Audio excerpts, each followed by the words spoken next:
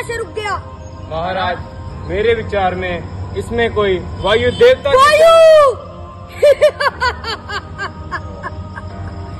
वायु की क्या शक्ति? जो मेरी इच्छा के प्रतिकूल होकर इस मंडल से गुजर सके। अरे वह तो चीज़ ही क्या है?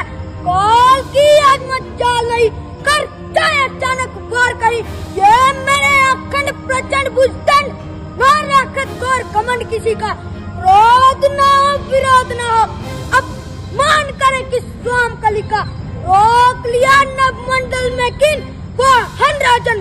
लंकपति का।